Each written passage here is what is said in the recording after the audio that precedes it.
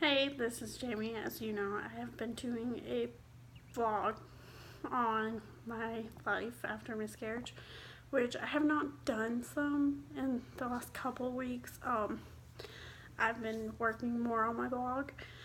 Um, so I actually wanted to go over that and I wanted to go over all the places you can find anything as far as my website, all that stuff. Um, so my website is www.mylifeaftermiscarriage. Um, I also have a Facebook page. I have an Instagram. I have a Twitter. I have all the social media, just mainly those three, because that's mainly where I can get my range out. Um, Snapchat's not one that I would use.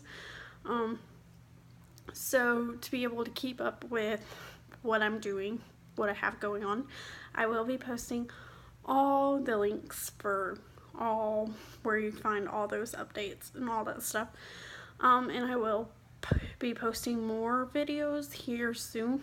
Um, I just thought I would go ahead and make this because um, I also had put in my blog that I was going to make a video basically about all my pages, all that stuff where you can get a hold of me, which also you can do that on all those pages, or um, my email, which is in my blog.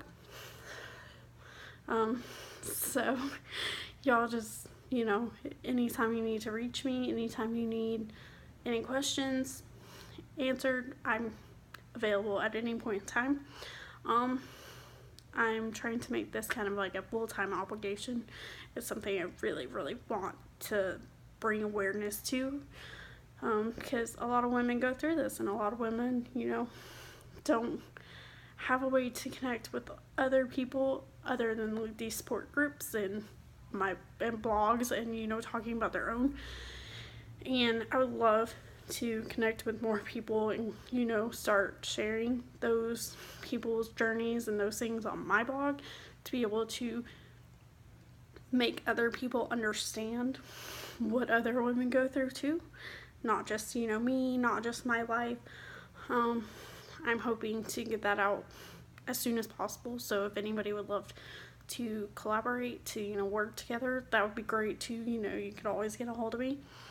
Um, other than that you know just keep on looking at my blog and waiting for videos and getting a hold of me whatever you need. Bye